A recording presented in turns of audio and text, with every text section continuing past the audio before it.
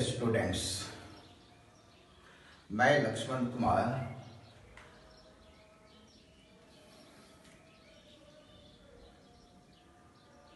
Dear students मैं Lakshman Kumar director Shiksha academy and Jupiter academy IIT Varanasi से हमने MTech किया है गोल्ड मेडलिस्ट हूँ।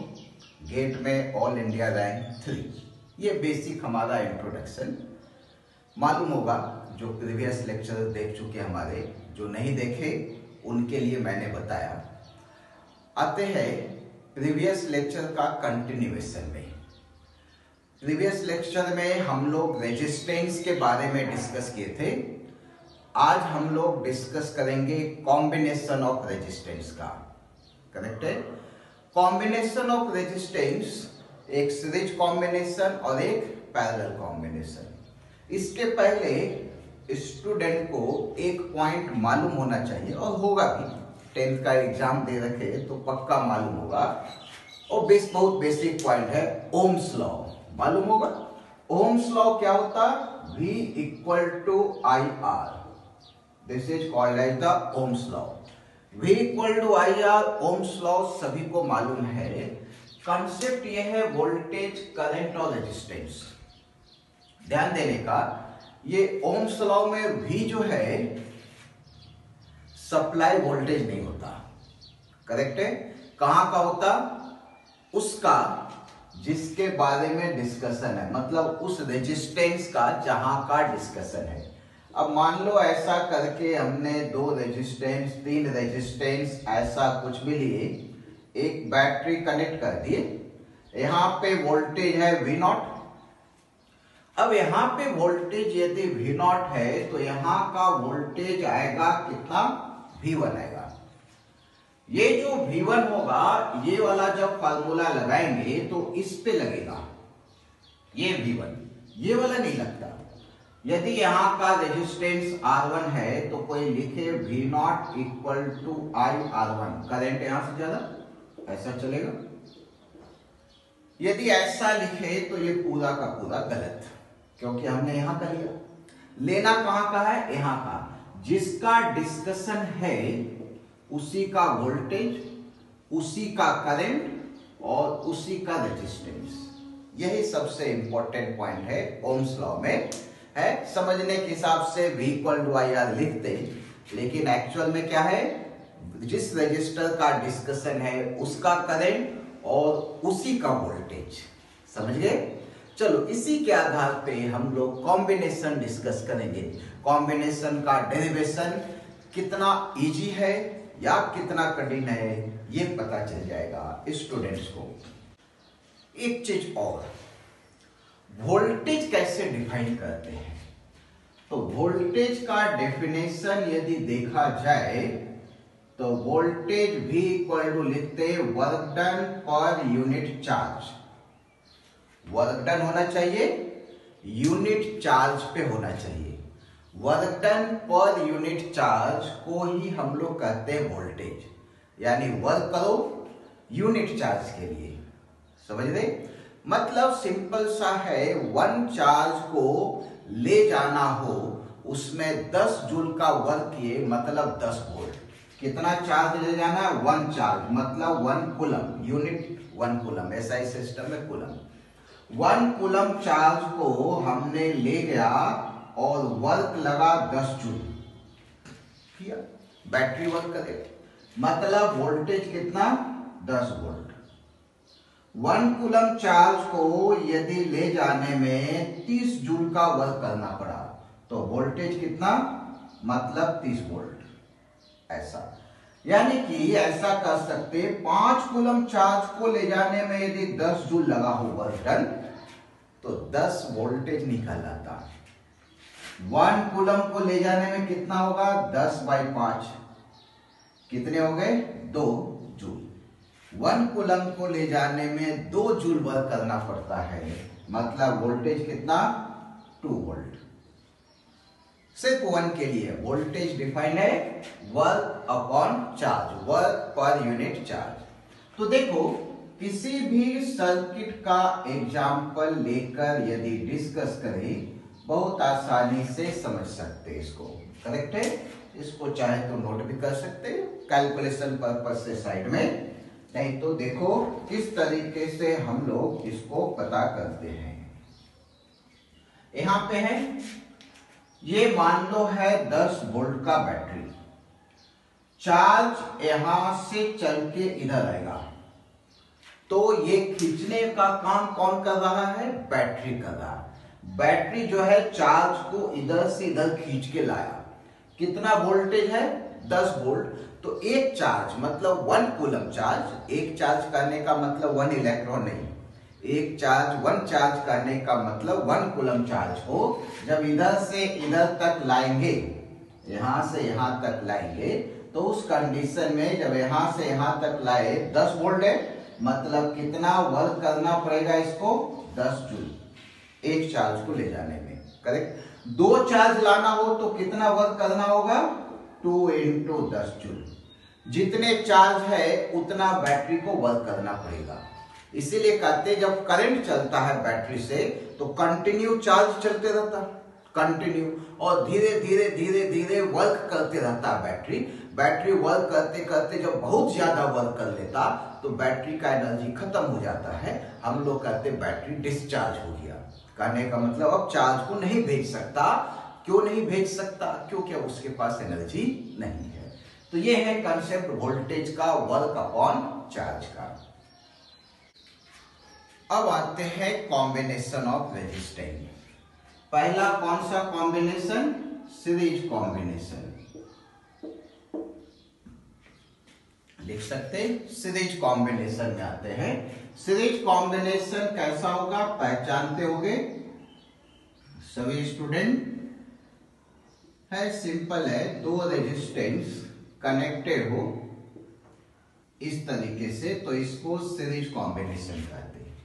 सीरीज़ कॉम्बिनेशन में दोनों रेजिस्टेंस का एक एक एंड पॉइंट एक एक एंड पॉइंट इसका एंड इधर और इसका एंड इधर। एक ही जगह पे ज्वाइंटेड रहता है। इसका और इसका। एक जगह पे ज्वाइंटेड है तो ये हो गया सीरीज़ कॉम्बिनेशन दो रेजिस्टेंस का वन एंड जो है, एक जगह पे ज्वाइंटेड होना चाहिए। और यहाँ से जहाँ ज्वाइंट हुआ, वहाँ से कोई दूसरा तार भी नहीं निकलना चाहिए। यदि ऐसा वायर निकला तो ये सीरीज़ कॉम्बिनेशन नहीं होगा। सीरीज़ कॉम्बिनेशन के लिए तार नहीं होना चाहिए। समझ गए? तो ये है सीरीज़ कॉम्बिनेशन वन कनेक्टेड है, दूसरा वाला कनेक्टेड है क्या? डायरेक्ट दूसरे वाले का देखोगे तो किससे कनेक्टेड हो गया? बैटरी से कनेक्टेड हो गया। ये गलत हो गया। किससे कनेक्टेड होना चाहिए? डायरेक्ट तो कॉम्बिनेशन डिस्टर्ब हो जाएगा। बैटरी से कनेक्टेड हो या किसी और चीज़ से कनेक्टेड हो तो सीरीज़ कॉम्बिनेशन रहेगा। एक कनेक्टेड होना चाहिए, दूसरा नहीं होना चाहिए। हमें इसका इक्वेलेंट पता करना है। तो इसी के आधार पे एक दूसरा डायग्राम हम लोग बना लेते हैं। आर इक्वेलेंट ऐसा। ऐसा करते हैं, यहाँ पे एक आर्मेटर लगा दिए करंट मेजर करने के लिए। करंट को मेजर करने के लिए दोनों में लगा दिए अब किसी ने इन दोनों को ऐसा बॉक्स में बंद कर दिया। बॉक्स में इस तरह से बंद कर दी करेक्ट है? दोनों को बॉक्स में बंद कर दिए। मतलब बॉक्स के अंदर क्या है? बाहर से नहीं दिखेगा किसी को। अब कोई पर्सन आया। यहाँ पे वोल्टेज लगाया दस। उसको करंट मिला वन करेक्ट बॉक्स के अंदर क्या है मालूम नहीं। फिर इसमें वोल्टेज लगाया दस। और उसमें भी करंट कितना मिला वन देख यही कर सकता। वोल्टेज लगाओ करंट देखो। और कुछ नहीं कर सकता। इसके अंदर बॉक्स में क्या बंद है, क्या नहीं है, किसी को कोई मालूम नहीं। फिर यहाँ लगाया दस। करंट मेजर किया वन। यहाँ पे लगाया बीस। बदला। करंट आया दो। फिर वही बीस यहाँ लगाया ट्वेंटी, करंट आया फिर से टू तो क्या देख रहा है, जितना वोल्टेज यहाँ, उतना ही वोल्टेज यहाँ तो करंट भी दोनों में सेम तो ये सिस्टम ऐसा है कि दोनों में सेम करंट भेजता है। इसका मतलब ये लगाओ या ये लगाओ, कोई इफ़ेक्ट आ रहा है क्या? उतना ही वोल्टेज पे उतना ही करंट आ रहा है, ये बक्सा यूज़ करो या ये बक्सा यूज़ करो। कोई डिफरेंस रहा क्या? कुछ भी नहीं रहा। इसी को हम लोग कहते हैं इक्वेलेंट इक्वेलेंट कहने का मतलब इसका यूज़ करो या इसका, जिस पर्पस के लिए कैलकुलेट कर रहे हैं, उसमें इफ़ेक्ट नहीं आना चाहिए। है? कोई इफ़ेक्ट नहीं है। इसी को हम लोग कहते हैं इक्वेलेंट सिस्टम हाँ इक्वेलेंट का मतलब सेम नहीं होता। इसका लेंथ अलग, इसका लेंथ अलग होगा। इसका मास अलग होगा, दोनों मिला के ये अलग अलग। ये अलग अलग मटेरियल से बना होगा, ये अलग अलग इसका एरिया अलग अलग होगा, इसका अलग। सब चीज़ अलग हो सकता है। बस जो सिस्टम के बारे में डिस्कस करें मतलब रेजिस्टेंस सेम होना चाहिए तो इक्वेलेंट इक्वेलेंट का एक दूसरा एग्जांपल देते हैं। जैसे घर हो, हमें पेंट करना हो घर का। हमने किसी एक पर्सन को बुलाया। उसने ऑब्ज़र्व किया, कहा वन डे का टाइम लेंगे और कॉस्ट फाइव हंड्रेड रुपीज़ एक पर्सन आया था। हमने कहा चेक करते दूसरे को ट्राई करते दूसरा आया। वो लोग दो लोग थे साथ में। उन्होंने देखा, कहा, साहब फाइव हंड्रेड रुपीज़ लगेंगे और टाइम एक दिन लगेगा. एक पर्सन का नहीं total total cost five hundred लगेंगे। हम लोग दोनों मिलके काम करेंगे और एक दिन में करके देंगे। हमारे लिए क्या फ़र्क पड़ता है? भाई, एक आदमी काम करे या दो मिलके काम करे, पैसा उतना ही ले रहा टाइम भी उतना ही ले रहा। तो हमारे लिए दोनों कैसा हो गया? इक्वेलेंट कोई फ़र्क नहीं पड़ता। लेकिन बाकी सिस्टम के लिए अलग। जैसे उसको पानी, प्यास लगा तो पानी ज़्यादा पिएगा। चाय पानी देना पड़ेगा, नाश्ता वगैरह कभी थोड़ा बहुत दिए तो उसमें खर्च आएँगे। वो अलग, वो हमारे लिए मायने नहीं रखता हो हमें सिर्फ़ पेंट करना है कॉस्ट देखना है और टाइम देखना है। सो बोथ आर इक्वेलेंट वैसे इसका मास अलग हो सकता है, लेकिन उसकी ज़रूरत नहीं हमें। हमें तो करंट से मतलब है। Current same so it is equivalent तो ये है इक्वेलेंट का कंसेप्ट ये इक्वेलेंट का कंसेप्ट सिर्फ़ इलेक्ट्रिसिटी के लिए नहीं है। किसी भी जगह पे, कहीं पे भी लगा सकते। ये इसी को कहते कंसेप्ट ये कंसेप्ट समझ गए इक्वेलेंट क्या होता? तो फिर आगे कभी कोई दिक्कत नहीं। सेम और इक्वेलेंट अलग अलग चीज़ है। है नहीं? ये दोनों सेम नहीं है। सेम करने का मतलब मास सेम होना डेंसिटी सेम होना मटेरियल सेम होना, सब चीज़ सेम होना। यहाँ पे दोनों सेम नहीं है। एक दूसरे का इक्वेलेंट है। यानी जिस पर्पस के लिए चेक कर रहे उसमें सिर्फ़ सेम अब कैलकुलेट कैसे करेंगे? तो देखो, यहाँ से कोई चला, चार्ज। ये 10 वोल्ट है, सपोज़ 10 वोल्ट है। तो यहाँ से कोई एक चार्ज चला, वन। वन चार्ज यहाँ से चला तो ये बैटरी उसको 10 जूल का एनर्जी दे देगा। अभी डिस्कस की। जितना वोल्टेज, उतना ही एनर्जी एक चार्ज के लिए। दो चार्ज का पता करना हो तो दो इंटू वोल्टेज मान लो यहाँ से दो चार्ज किया और ये 10 वोल्ट है, समझने के लिए कितना ले लिया इसको? 10 यहाँ से दो चार्ज चला। तो बैटरी कितना एनर्जी देगा? Two into ten total twenty मतलब एक को कितना मिला? दस. दूसरे को भी दस. तीसरा जाएगा, उसको भी दस. टोटल तीस. जितना चार्ज जाएगा, सबको दस दस देना इसका काम है हर एक चार्ज को दस जूल का एनर्जी देना. उसी को कहते हैं वोल्टेज. ये इधर गया इधर जाने के बाद यहाँ आया, कोई रेजिस्टेंस नहीं अभी. कोई खर्च करने की ज़रूरत नहीं. यहाँ पे आया, अब रेजिस्टेंस ये एनर्जी कंज्यूम करता है एनर्जी खर्च करता है। तो जो चार्ज था, यहाँ पे कुछ एनर्जी दे देगा। मान लो उसने दे दिया छह जूल का एनर्जी छह जूल यहाँ एनर्जी दे दिया। अब बचा चार्ज चार्ज यहाँ से यहाँ तक आया तो कितना एनर्जी दे दिया इसको? सिक्स फिर अब बचा कितना उसके पास? टोटल टेन था। छह दे दिया तो बचा कितना? फोर फोर लेके अब यहाँ चलेगा तो यहाँ पे फोर देगा। और यहाँ पे वापस कितने से आ जाएगा? ज़ीरो से। फिर ये बैटरी उसके दस को बढ़ाएगा। मतलब जितना भी एनर्जी दिया गया चार्ज को, वो उस रेजिस्टेंस में पूरे में खर्च करके ही आना है, बचा के नहीं आने का। ऐसा नहीं ऊपर गया, किसी तरह बचा लिया। नहीं। जितना चार्ज लगाए, वो खर्च करके ही आना है। रेजिस्टेंस का मतलब ही वही है। मतलब यहाँ छह खर्च किया तो यहाँ चार्ज। दोनों का समीशन दस। यहाँ तीन तो यहाँ पे सेवन। कैसा भी हो, इन दोनों का समीशन दस होना चाहिए। मतलब यहाँ पे खर्च वी वन तो यहाँ वी टू सो क्या लिखेंगे? V equal to V one plus V two ये है वोल्टेज का समीशन। मतलब सीरीज़ कॉम्बिनेशन में इन दोनों के वोल्टेज के समीशन v के इक्वल होता है। करेक्ट है? ये कंसेप्ट है। अंडरस्टैंडिंग होनी चाहिए। चार्ज इधर से इधर गया दस जून लेके रास्ते में खर्च करके वापस आना है। जैसे सिंपल सा तुम्हारे लाइक एग्ज़ाम्पल बताए। मान लो किसी ने कहा कि तुम्हें हंड्रेड रुपीज़ दिया गया। कोई फेस्टिवल वगैरह हंड्रेड रुपीज़ दिया गया। जो अपना घूम के थोड़ा बहुत जो भी खर्च वगैरह करना है, खर्च करके आना है। रूल यही है कि पैसा वापस नहीं लेके आना है। नहीं लेके आना है। तो तुम क्या करोगे? जाओगे कहीं पे दस खर्च किए, कहीं पचास किए, कहीं बीस किए। ऐसा खर्च करके पूरा आ गए।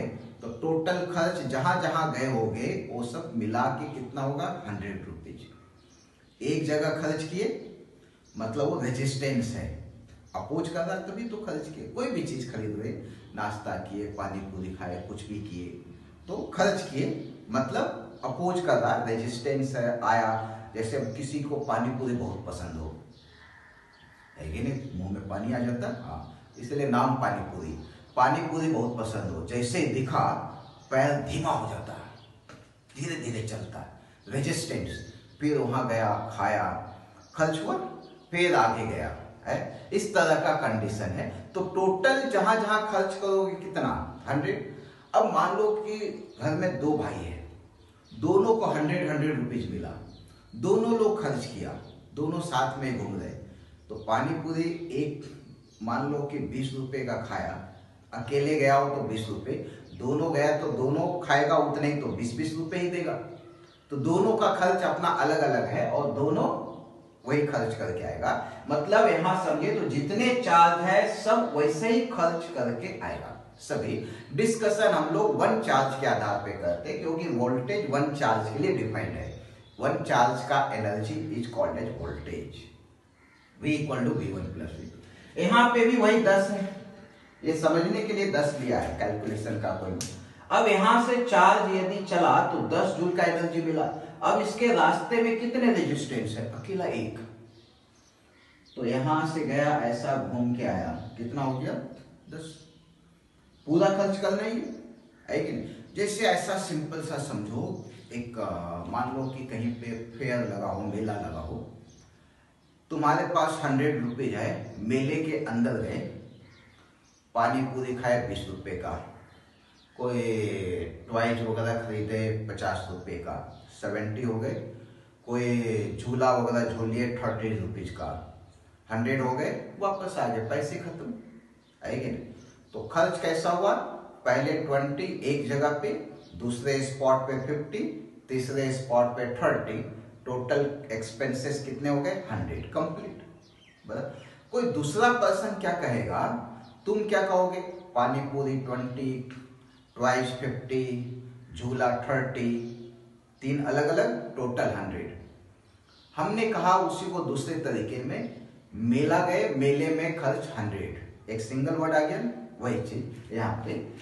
चार्ज यहाँ से जा रहा है तो इस रेजिस्टेंस पे खर्च इस, रे, रेजिस्टेंस पे मान लो कि दस खर्च सिक्स खर्च यहाँ पे फोर टोटल कितना? टेन हमने कहा टोटल रास्ते में टेन खर्च वही इक्विवेलेंट हुआ। मतलब मेला पूरे को एक साथ लेके बोले तो इक्वेलेंट है वही सिस्टम है सब सिमिलर है। तो यहाँ देखो टेक्निकल टर्म के आधार पे यहाँ से चार्ज चला एक चार्ज 10 जूल एनर्जी लेके चलेगा तो यहाँ कितना खर्च होगा? 10 जूल तो ये हो गया। अब लगाएँगे ओम्स लॉ बात करेंगे करंट का। करंट मालूम नहीं, इधर चल रहा करंट ऐसा। है ना? सेम इधर से भी चलेगा तो ऐसा। करंट करेक्ट है? तो ये है करंट का कंडीशन करंट रूल के आधार पे इक्वेलेंट होने के लिए करंट दोनों में क्या होना चाहिए? सेम तभी अप्लाई करेंगे। लेकिन अलग अलग हो ही नहीं सकता। सीरीज़ कॉम्बिनेशन में करंट सेम होता है। क्यों सेम होता है? देखो रेजिस्टेंस का पिछला वीडियो वगैरह देखोगे समझ में आएगा। मान लो दो रेजिस्टेंस ऐसा है। एक ऐसा एक ऐसा। इधर से पर्सन जा रहे हो। मान लो इधर से पचास पर्सन गया। तो इस रास्ते से कितना निकलेगा? पचास ही निकलेगा ना? यहाँ से गया तो इधर। ये मोटा हो, पतला हो, ऐसा थोड़ी इधर से पचास गया तो इधर से अस्सी परसेंट निकल जाए पॉसिबल नहीं है। मतलब जितना गया उतना ही बाहर आएगा। इधर जितना वाटर भेजोगे, उतना ही वाटर बाहर आएगा। पहले से भरा हुआ है वाटर पूरा वाटर भरा हुआ है पहले से, ऐसा एज्यूम करने का, पूरा फिलअप कर। इसमें दो लीटर एक्स्ट्रा वाटर डाले तो इसमें रह सकता क्या? पहले तो भरा हुआ है तो यहाँ से कितना निकलेगा? दो लीटर वही कंडीशन है। तो यहाँ से जो चार्ज गया, पूरा यहाँ से आएगा। ध्यान देने का रेजिस्टेंस चार्ज खर्च नहीं करता एनर्जी खर्च करता है। चार्ज के पास जो एनर्जी उसको लेता है। चार्ज को खत्म नहीं करता। लेकिन ऐसा नहीं कि चार्ज गया रेजिस्टेंस है, पाँच चार्ज यहाँ अटक जाएगा, बाकी जो पाँच बचा वो आगे जाएगा। गलत। चार्ज वही रहेगा चार्ज की एनर्जी को खर्च कर लेता है। चलो, ये इक्वेशन तो समझ गए वी आया वी वन और वी टू का समेशन वी लगाएँगे, ओम्स लॉ के आधार पे। वी इक्वल टू क्या होता? आई आर तो वी जो है टोटल है तो टोटल इधर से डिस्कस करो, तभी हम लोग दोनों में रिलेशन पता कर सकते हैं। एक इक्वलेंट का पार्ट सिंगल और ये इंडिविजुअल का पार्ट तो भी यहाँ पे है तो यहाँ पे भी भी कितना आएगा? पूरा ही आएगा मतलब जो है वही आएगा। रूल के आधार पे दस आया, पूरा दस, इसी में खर्च करना। है अब फार्मूला लगाओ। क्या होता है? V equal to I R जहाँ का वोल्टेज वहीं का करंट वहीं का रेजिस्टेंस यहाँ का वोल्टेज यहीं से पास होने वाला करंट यहीं का रेजिस्टेंस मतलब क्या लिखेंगे? आई आर इक्वलेंट V1 क्या लिखेंगे? यहाँ का वोल्टेज यहाँ का रेजिस्टेंस यहाँ का current I R one V two यहाँ का वोल्टेज यहाँ का रेजिस्टेंस यहीं का current I R two I हटा दो। R equivalent is equal to R one plus R two है? देखो, हमारा पर्पस ये फार्मूला डेराइव नहीं करना था। डेराइवेशन तो मालूम होगा। R equivalent R one plus R two series combination में होता। हमारा था ये कंसेप्ट इक्वेलेंट का। और एक्चुअल में किस तरह का ये जो लिखते हैं, क्यों लिखते हैं, कैसे लिखते हैं चार्ज का बिहेवियर कैसा होता है, उसको समझना था। मतलब कंसेप्ट की बात कर रहे हैं डेरिवेशन वगैरह तो पढ़ चुके हो। तो फिजिक्स में यदि इस तरह के कंसेप्ट के आधार पर यदि समझो तो सभी कैलकुलेशन बहुत ही आसान हो जाते हैं। सभी चीज़ आसान लगने भी लगता है। करेक्ट है? नोट कर लो इसको। देखो, अब डिस्कस करने वाले हैं हम लोग पैरेलल कॉम्बिनेशन डायग्राम वगैरह बना रखे कंफ्यूज नहीं होने का ध्यान से दो रेजिस्टेंस R1 R2 पैरेलल में है। पैरेलल में क्यों है? पैरेलल में कब होगा? किस समय होगा? दिखाई दे रहा है कि नहीं? इसको पैरेलल में करते भी है। कब होगा एक्चुअल में? उसके बारे में देखो। दोनों रेजिस्टेंस का वन इन एक एक इन इसका वन इसका वन आपस में कनेक्टेड होना चाहिए। कनेक्टेड है? कोई बीच में दूसरा रेजिस्टेंस वगैरह आया क्या? नहीं ना? ये तार आया। इसको कहते हैं टर्मिनल नो प्रॉब्लम कोई इशू नहीं। रहने दो। एक टर्मिनल रहने दो दो रहने दो, पच्चीस रहने दो, कोई फ़र्क नहीं पड़ता। टर्मिनल का प्रॉब्लम नहीं है। कोई रेजिस्टेंस बैटरी नहीं होना चाहिए, वो प्रॉब्लम क्रिएट करता है। वन इन कनेक्टेड दूसरा इधर। दूसरा वाला भी कनेक्टेड होना चाहिए। है ना? कनेक्टेड है डायरेक्ट कोई बीच में रेजिस्टेंस आया क्या? टर्मिनल कोई दिक्कत नहीं टर्मिनल का कोई प्रॉब्लम नहीं। टर्मिनल का प्रॉब्लम सीरीज़ में है। सीरीज़ में यदि ज्वाइंट के में टर्मिनल लिखना निकला मतलब सीरीज़ गया, सीरीज़ नहीं है। पैदल में निकल दे तू। पच्चीस निकले, पचास निकले, कोई दिक्कत सीरीज़ में एक में एक ज्वाइंट होना चाहिए, दूसरा वाला नहीं। इसमें दोनों होना चाहिए। तब जाके पैदल। ये थोड़े डिफरेंसेस है। करेक्ट? इसको ध्यान में रखोगे तो कॉम्बिनेशन पहचानना बहुत ही आसान हो जाता अब देखो यहाँ से करंट चला। मान लो इधर से 10 चार्जेस चले 10 10 चार्जेस चले तो यहाँ पे पहुँचा तो अब इसके पास दो रास्ते एक इधर एक इधर। कुछ चार्ज ऊपर से जाएगा, कुछ नीचे से जाएगा। मान लो कोई कहे वन चार्ज चला। हालाँकि वन चलता नहीं मल्टीपल चार्ज कंटिन्यूस चलते रहते। मान लो वन चला तो वन जो चला वो या तो इधर से जाएगा या इधर से। दूसरा जो चला वो इधर से जाएगा या इधर से? एक एक चार्ज के बारे में डिस्कस करें डिस्कशन एक एक चार्ज के बारे में। यहाँ से अकेला एक चार्ज नहीं चलने वाले, बहुत सारे चलने वाले हैं। उसमें कुछ चार्ज ऊपर से जाएगा और कुछ नीचे से जाएगा। जैसे यहाँ पे, यहाँ ऐसा मान लो रास्ता ही है, यहाँ से दस लोग जा रहे हैं, उसमें तुम भी हो। स्टूडेंट अपने आप को भी समझो और बाकी तुम्हारे नाइन फ्रेंड्स हैं। यहाँ से चले ऐसा समझो, तुम हो और बाकी नाइन फ्रेंड्स है। एक तो तुम हो, अपना नाम याद रखो।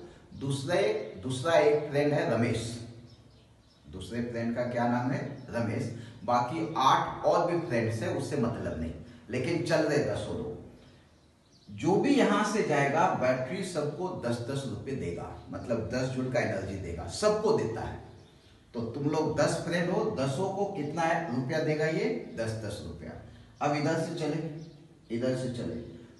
तुम्हारे पास ऑप्शन है इधर से जाना या इधर से जाना। ऐसा हो सकता है, दोनों रास्ते से तुम ही जाओ। नॉट पॉसिबल तुम इधर से गए, तुम्हारा दोस्त रमेश इधर से गया, बाकी कुछ लोग इधर से गया, इधर से गया, ऐसा। लेकिन तुम अपने बारे में सोचो तो तुम तो सिर्फ़ मान लिया जाए, इसी रास्ते से जा रहे हो। और रेजिस्टेंस अलग अलग यदि है तो दोनों से नंबर ऑफ़ पर्सन जाने वाले अलग अलग होंगे। तो मान लिया जाए, इधर से कुछ नंबर गया तीन लोग, और इधर से कुछ गए सेवन लोग। टोटल दस लोग थे सेवन लोग।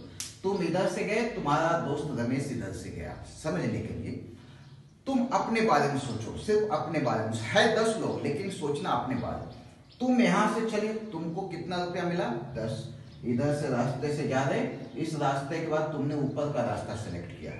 ऊपर गए तो तुम्हारे लिए कितने रेजिस्टेंस मिल रहे रास्ते में? वापस इधर से आओगे, इधर नहीं घुसने का। खत्म हो गया रास्ता इधर। है? इधर से गए, ऐसा यहाँ पे आए। तुम्हारे पास दस रुपया है। टोटल कितने रजिस्टर है? अकेला एक ही तो यहाँ से जाओगे तो यहाँ पे तुम्हें पूरा खर्च कर देना है। ये रूल है। तो यहाँ कितना खर्च करोगे? दस। तुम्हारा दोस्त रमेश जो इस रास्ते से गया वो कितना खर्च करेगा यहाँ पे? दस। फिर सब लोग आ गए। यहाँ पे बा, बाकी और जो फ्रेंड्स है वो कुछ इधर से गया कुछ इधर से गया।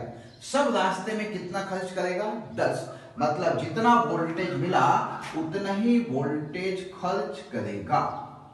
ये है भी। जितना मिला उतना ही वोल्टेज उस पर खर्च भी करेगा। तो भी। इसीलिए कहा जाता पैरेलल कॉम्बिनेशन में वोल्टेज सेम होते क्योंकि जो चार्ज गया वो खर्च पूरा करके ही आएगा और दूसरा रास्ता नहीं। समझ रहे ना? हाँ। सीरीज़ में क्या है? एक ही चार्ज को दोनों जगह जाने पड़ते इसमें या तो इस रास्ते से या इस रास्ते से जाओ। खर्च उतना ही करना है, है? सिंपल सा समझो। ऐसा है यहाँ से कुछ लोग गए मेले में गए तुमने एक बड़ा वाला जो वर्टिकल झूला होता है, उसको झूला। इधर जो है वो ऐसा मेरी गोदाउंड होता है, इस तरह से उसको झूला। इसको लोग अवॉइड करते वर्टिकल वाले। कम लोग झूलेंगे रेंट में। इसको आराम रहता है, बाकी लोग झूलेंगे, लेकिन पैसा लिमिटेड है। सबके पास दस रुपया है टिकट का कॉस्ट भी दस रुपया है। तो इधर कम लोग झूलेगा, इसमें ज़्यादा लोग। लेकिन एक बार खर्च हो गया, उसके बाद कोई रास्ता नहीं, उसके बाद सीधे गेट से बाहर। अब गेट से बाहर तो अंदर फिर जा सकते बिना टिकट लिए क्या? नहीं। सेम टू सेम वैसे ही। समझ सकते किसी भी तरीके से नॉर्मल एग्ज़ाम्पल कोई भी लेके समझ सकते फिजिक्स ऐसा ही है कि हर एक चीज़ का अपने रियल लाइफ के एग्ज़ाम्पल से जोड़ सकते हैं। और ऐसा करके यदि फिजिक्स पढ़े तो कंसेप्ट इतना अच्छा क्लियर हो जाएगा कि बाकी कोई परेशानी नहीं रहती। कंसेप्ट क्लियर होना बहुत ज़रूरी है। और साथ में calculation power calculation power resistance का वीडियो लेक्चर देखोगे, देखो किस तरह से फास्ट कैलकुलेशन करते आगे भी बहुत सारे फैक्टर है जिसमें फास्ट कैलकुलेशन सिखाते जाएँगे, ध्यान से देखते रहने का। रिज़ल्ट इसी वजह से आता है। और हमारे यहाँ का रिज़ल्ट सबसे बेस्ट रहने का मेन वजह यही है।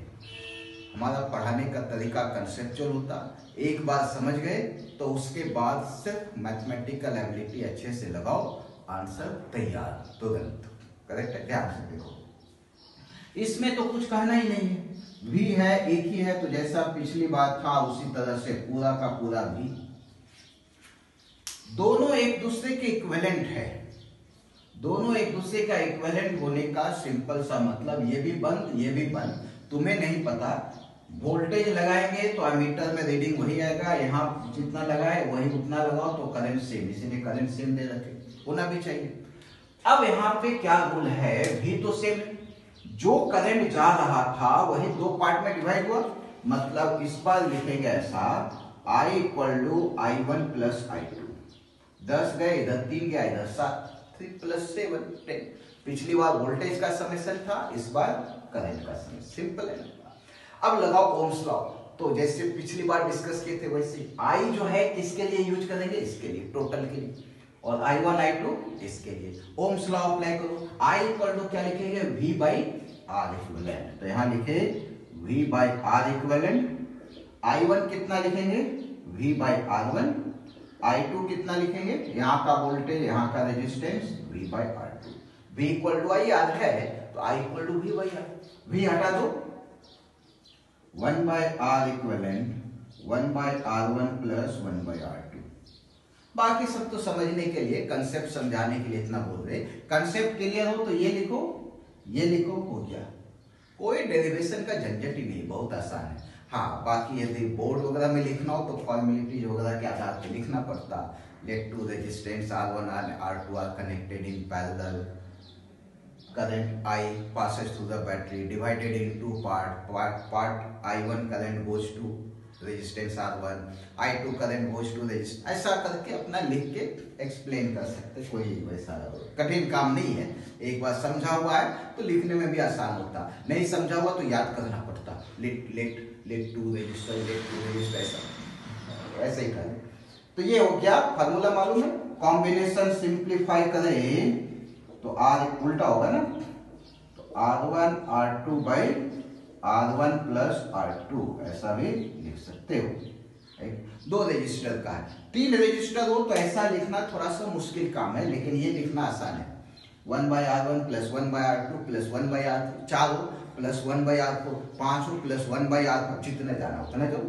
सीरीज़ में भी R equal R one plus R two है और लिखेंगे R one plus R two plus R three plus R four plus R five ऐसा जितना जाना चाहे, उतना जा सकते देखो स्टूडेंट्स उसके आधार पे बहुत सिंपल क्वेश्चंस वगैरह डिस्कस कर लेते हैं। तीन तीन रेजिस्टेंस डिस्कस के फॉर्मूले में दो सवाल है तीन तीन का। कोई दिक्कत नहीं, फ़र्क नहीं पड़ता। आर इक्वलेंट किस कॉम्बिनेशन में है तीनों? ये दोनों का वन एंड जुड़ा है। दूसरा वाला आपस में जुड़ा है क्या? नहीं ना? यहाँ से कोई टर्मिनल निकला क्या? नहीं मतलब फाइव और थ्री सीरीज़ में। थ्री सिक्स का वन इंड आपस में कनेक्टेड है। एक कोई बीच में तार है? नहीं। ये दूसरा वाला आपस में कनेक्टेड है क्या? नहीं। मतलब थ्री और सिक्स भी सीरीज़ में। तो ये दोनों सीरीज़, ये दोनों सीरीज़ मतलब तीनों सीरीज़ में हो गए, ऐसा कहते तीनों सीरीज़ में, और सीरीज़ में तीन हो तो five plus three plus six कितने हो गए? फोर्टीन हो पहचानिए। यहाँ आ जाओ आर इक्वलेंट देखने में तीनों कैसा लग रहा? पैदल। लग रहा? नहीं है नहीं। है सीरीज़। कैसे? इसका वन इन कनेक्टेड है। यहाँ पे दूसरा वाला आपस में ज्वाइंट है क्या? गैप है? ज्वाइंट रहता तो पैरेलल ज्वाइंट है क्या?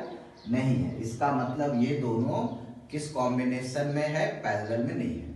तो यहाँ से देखो वन इन ज्वाइंटेड दूसरा ज्वाइंटेड नहीं है और कोई तार भी नहीं है. ये तीन पॉइंट चेक करने का जो बोल रहे वही सब. वन इन कनेक्टेड दूसरा इन कनेक्टेड नहीं है, कोई तार नहीं निकल रहा सो सीरीज़ फोर और सिक्स का, यहाँ पे ज्वाइंटेड है वन इन दूसरा इन ज्वाइंटेड नहीं है।